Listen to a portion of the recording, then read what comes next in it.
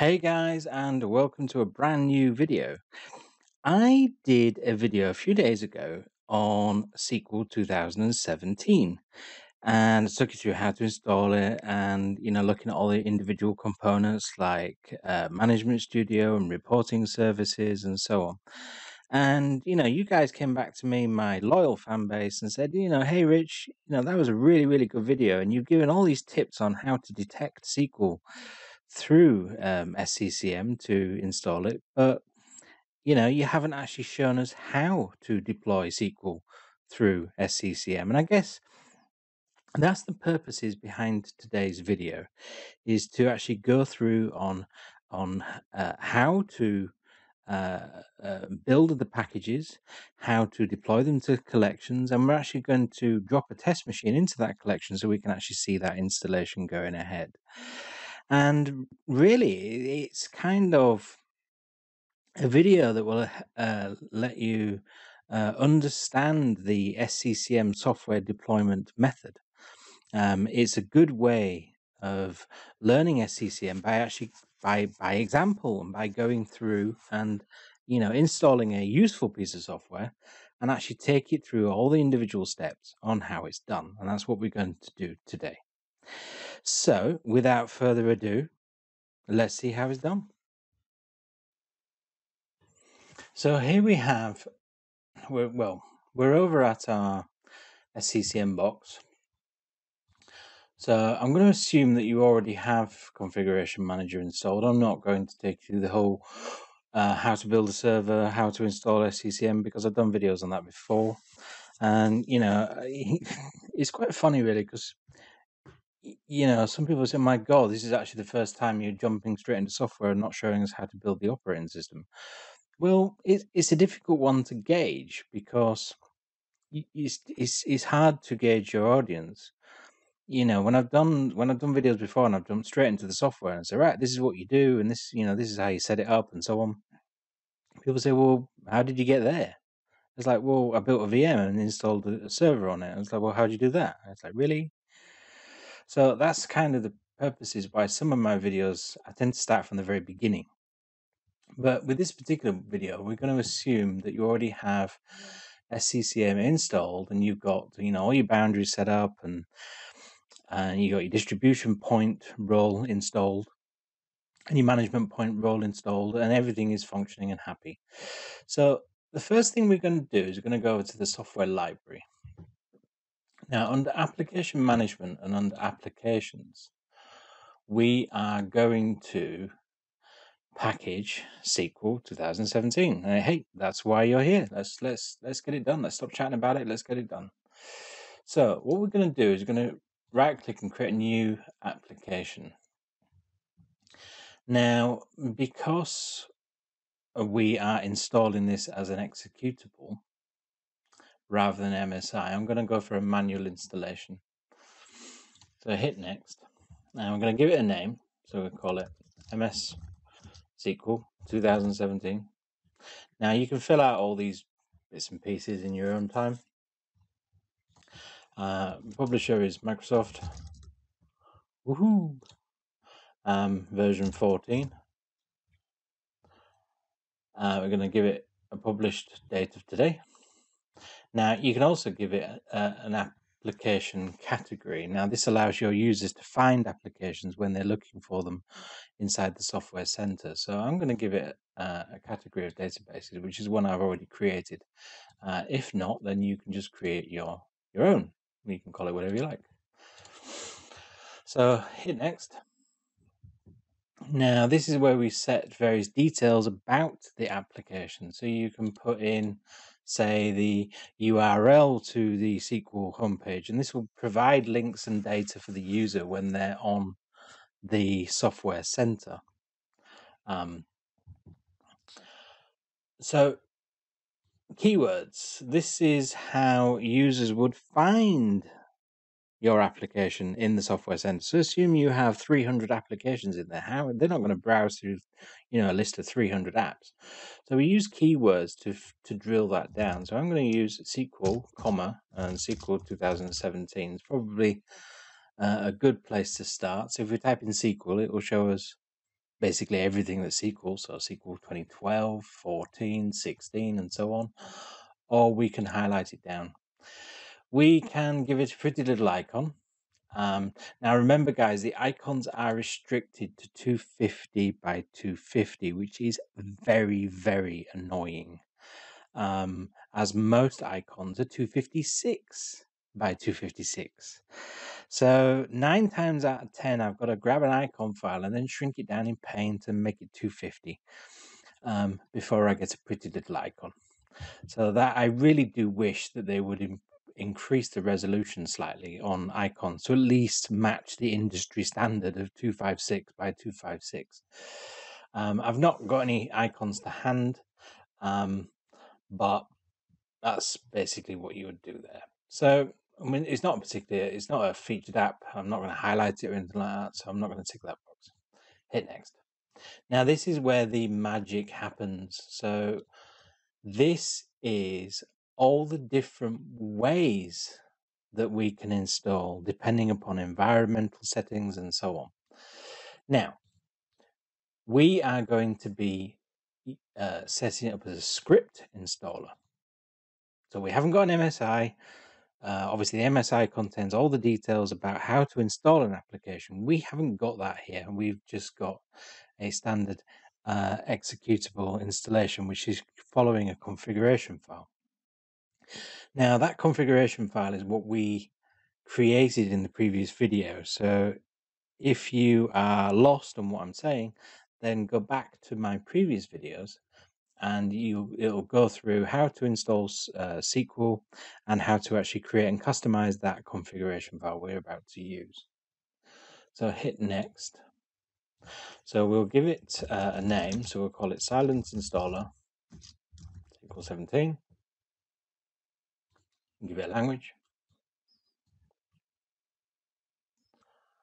Oh, how many versions of English could there possibly be? English United Kingdom. Hit next. Now, what I've already done is I've already copied the installation files onto a share that SCCM has access to. Now, this is uh, what we created in the previous video. So we have SQL 17 here we have the configuration file that we created and this basically goes through on how to install. So what we're going to do is this has to be a URL, no URL, sorry, this has to be a network share.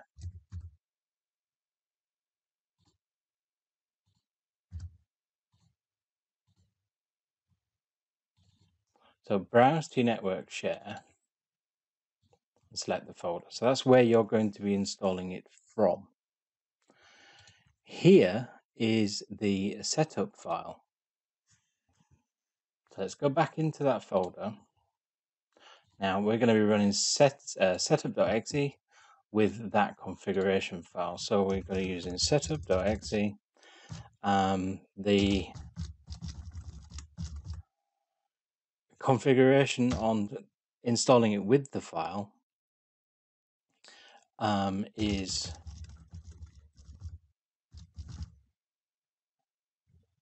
there. So we've used that file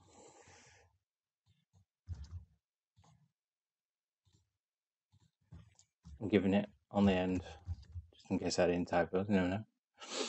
Um, we could also create uh, an uninstallation. So if we had a configuration file that went through uninstalling, that's where we would do it there. So in the config file, we've got action install.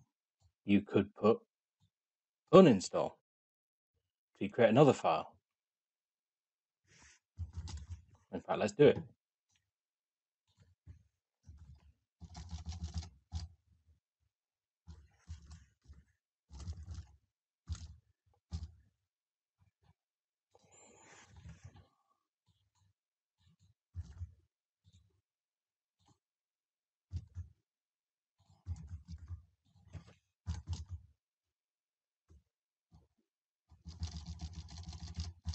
And there you go.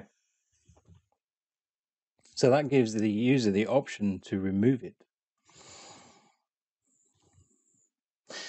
Now, detection method. This is what I was talking about in the previous video. So,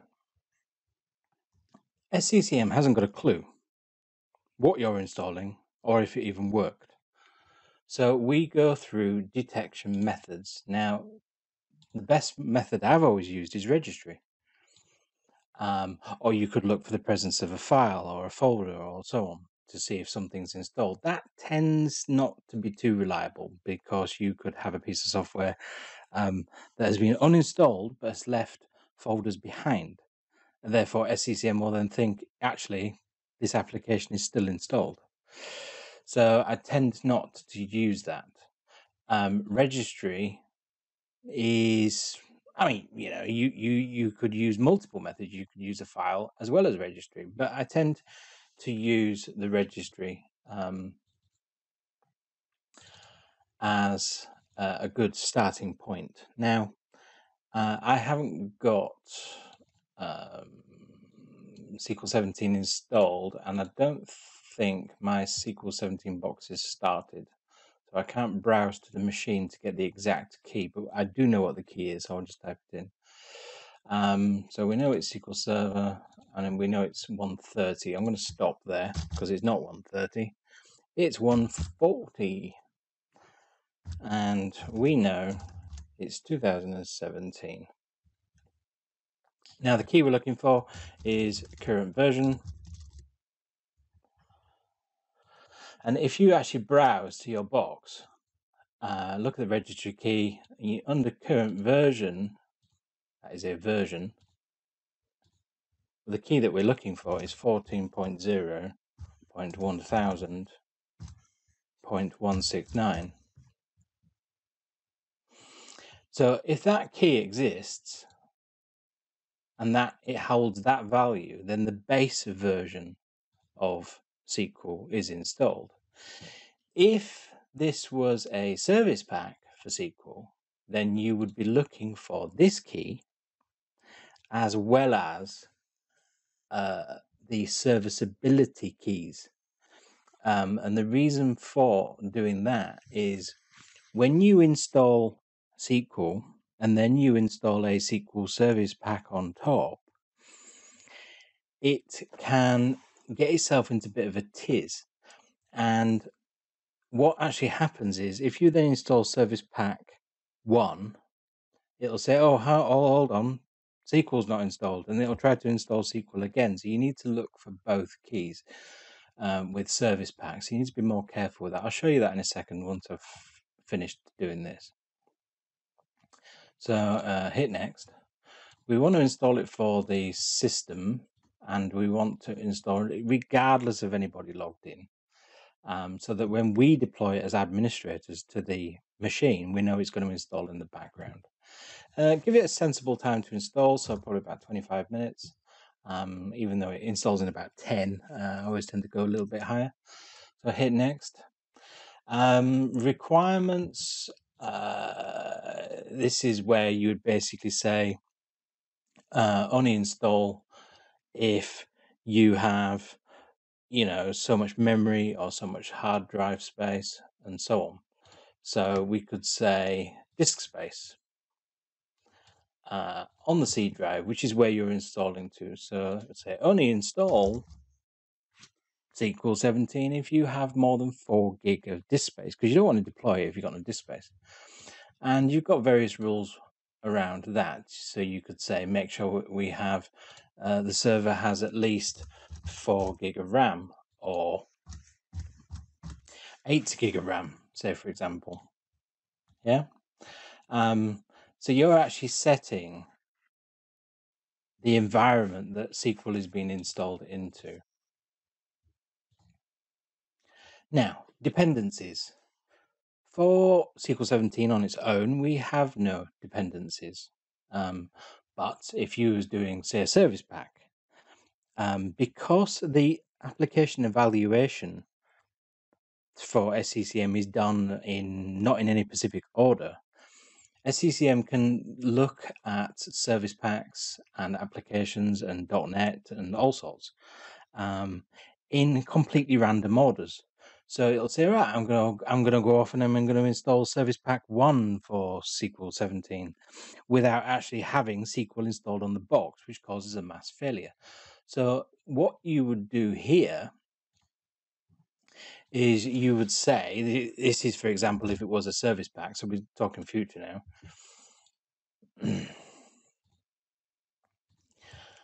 we would say oops, as an example.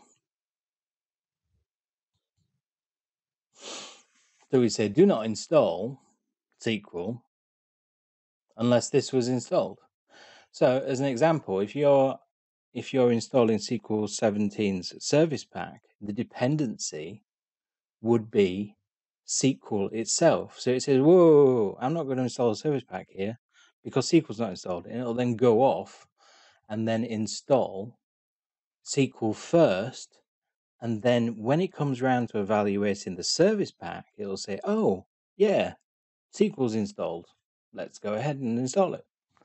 So that's the purposes behind that. I'll show you um, in a minute once we've finished creating uh, this one. So I hit next to finish it off, summary, and then wait for it to actually process that application.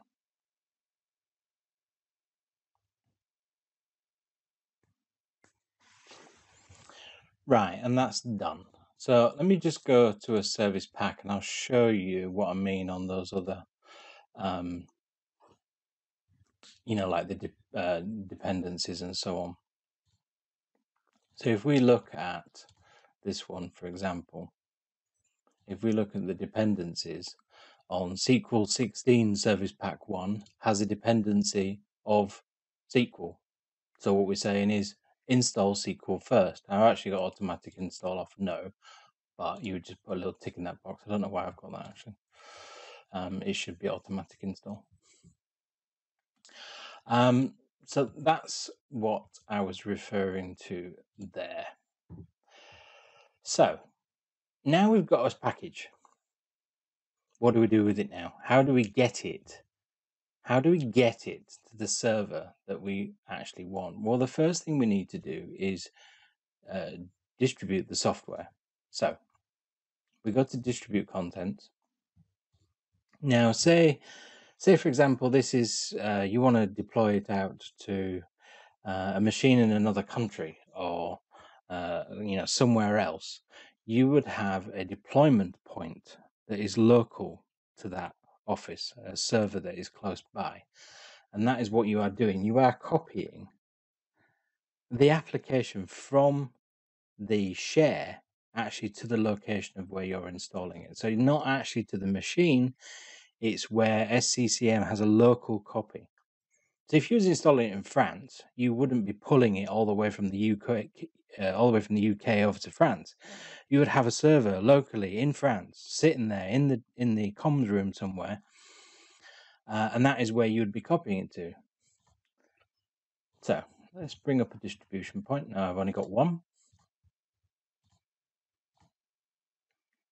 Now, depending upon the speeds of your links and so forth, um, this can take a while.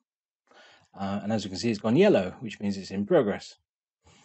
Um, so while it's in progress, it's now going through and sending it off to that distribution point, which for me is actually um, just a completely different VM inside the same hypervisor. So it shouldn't take too long. Um, but while that's running, what we'll do is we will deploy it.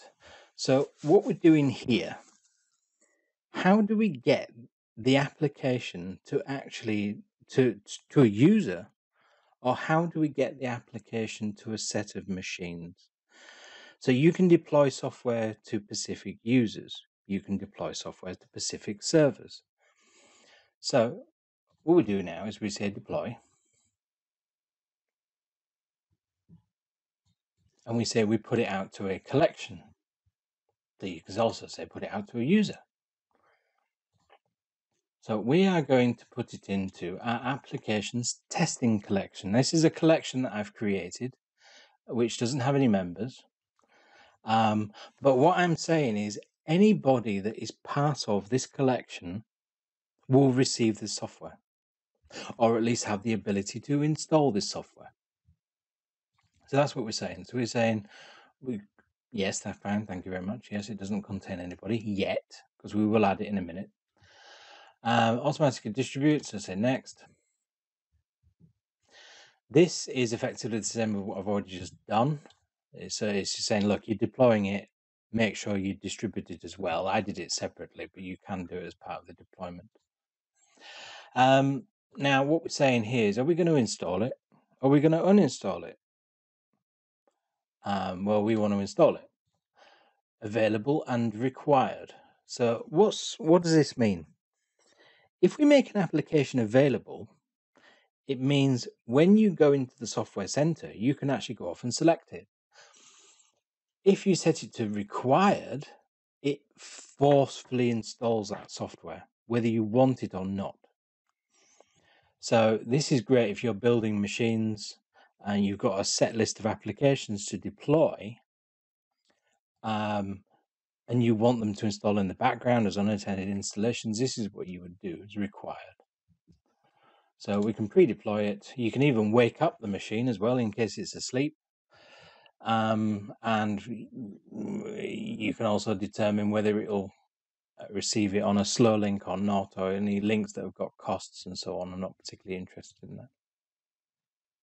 I'm saying here that the software is available at any time, uh, and I also want to install the software outside of um, maintenance windows.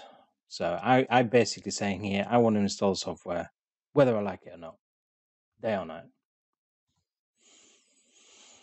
Uh, not particularly bothered. I'm not using SCOM in this in my test environment, so I'm not uh, going to be doing it here. Um, but this will, you can raise a SCOM alert, um, which is Operations Manager for those that are saying what the hell SCOM is. Uh, you can basically generate an alert to say, look, this has failed. Um, if you wanted, so hit next, hit next, uh, and then it'll then deploy that application is it finished? Nope. So let's go to that collection. So under device collections, we have applications testing collection. So if we go to the deployments tab, here we can see all of the applications that we have deployed that are available. And there is our SQL 17 as a required installation to saying you will install this. All these are available. Um, actually, what I should be doing is not because I want to show you guys. Um, that's interesting. I can't change it. Okay, so what we're going to do now is we've got a test machine uh, here, 16 app deploy. And what we're going to do is we're going to put this in that collection. So add selected collection, add selected items. And then we're going to select the collection that we've just put the software out to. So if we go back in now,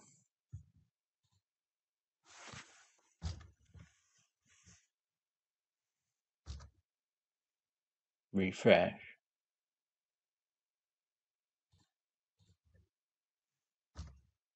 There you go. Bit slow. Um, one.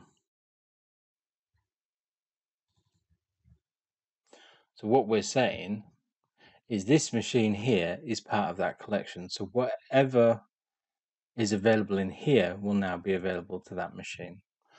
So if we switch over, now this is not going to work yet because the software is not deployed. Yeah, you see it's still deploying. But if we go over to our box,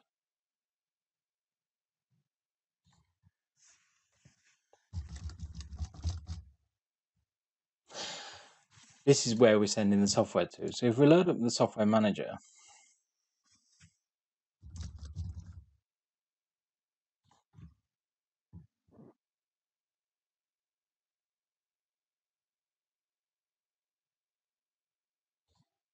we have absolutely nothing, which is expected because we've only just put the machine into the collection. Now, to save time, I'm going to force it to evaluate.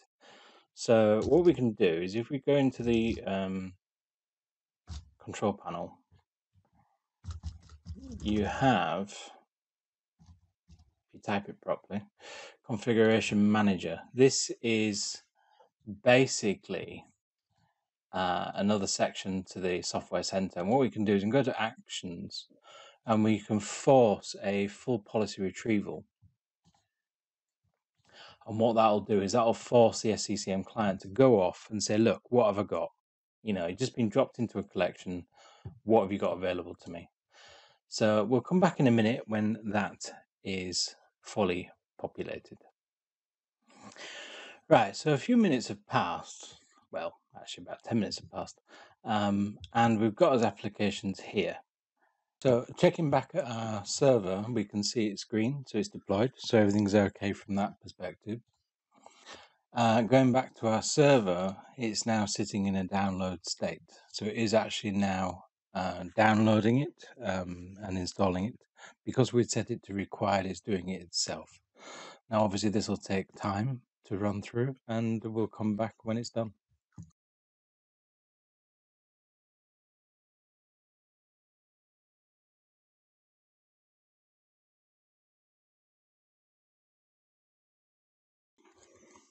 So as we can see there, scenario engines kicked straight in. It's now installing. And in around 10 minutes or so, we should have a fully installed version of SQL 2007. No, we're not. it's failed. So it just goes to show it doesn't matter how much preparation you do, things always go wrong. So it actually brings me round to part two of how to diagnose an application that hasn't installed properly on SCCM, which is completely unplanned and unscripted. So let's try and find out what went wrong. So in my computer inside Windows, the default locations for SCCM is SCCM cache. That is where our software is kept. So we can see everything is in there. Um, what we can also look at is the uh, log. So inside CCM logs, there is a text file called AppEnforce. And this shows exactly what SCCM is trying to execute and also the return code of why it failed.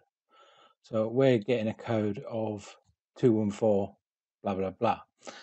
So we were looking for a code zero. That's a successful install. Something's gone wrong. This is a fresh deployment of a server. So it could be something's missing. So what we can do is if we get that and we run it manually from within the CCM cache folder, without the silent installation, we should be able to figure out why it's failed. So if we bring up a command prompt,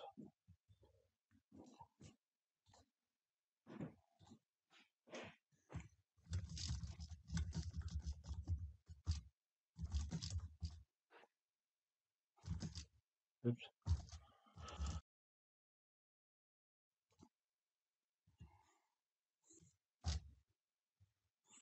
and run it manually, I suspect there'll be something wrong on the server. Now, this obviously this isn't a fault with SCCM; it is a fault with the application itself. So something's missing, a prerequisite, and so on. So let's try and figure out how or why this has failed. So we'll let this run through and find out what the fault is. So we'll let that run through, and the, the fault is actually with my own configuration file. It was simply moaning about um, in the previous video, we'd installed it on a server that wasn't domain joined. So all it's complaining about really is the fact that the configuration file has a user here which is actually not relevant for this particular build. We would be using a domain um, admin account. So I can go off and amend this, um, redistribute the package, and hopefully it should install correctly. So after the minor hiccup on the configuration file, which is to be expected, we can see that the installation is, is going ahead now and um, it should be installed okay. So once it's finished, it'll then give you the error code and of zero and the software center will then say that the software is installed. So we will come back when it's all done. So as we can see that is now installed. Now I had to make some slight amendments to the registry key of the application under the detection type. My uh, registry key for detecting in the registry was uh, was actually missing. Um, it was actually a version, current version, um, and that was causing a, a, an error as well. But other than that, it was a straightforward installation, and it's also worked. Now, just to cover a point that I made earlier, because we had to make a change to the source. Uh, so let's say, for example, let's open this up. And for example, I had a couple of faults in my file for whatever reason. Um, so I was, oops, I was writing out to a drive that doesn't exist was one of the faults. And it was also a particular user that doesn't exist, which is an mis- easy mistake to make. But, so let's say you save that, you made changes to that. Now, how do you send those changes back out to the distribution point? So what you need to do is go over to deployment types. And then if you right click on it and then say update content. And then what that will do is that will then send out the changes that you've made out to your distribution points. Now, obviously that takes time to, to come out, but those changes that you've made will then be um, deployed. And that brings us to the end of the video. I hope uh, you found it informative. Uh, a few hiccups in the way, but it's all good because it's that's how we we learn. I hope you really really enjoyed the video, and uh, please give me a thumbs up if you enjoyed it, and uh, like and subscribe for more content. Until next time, see you later.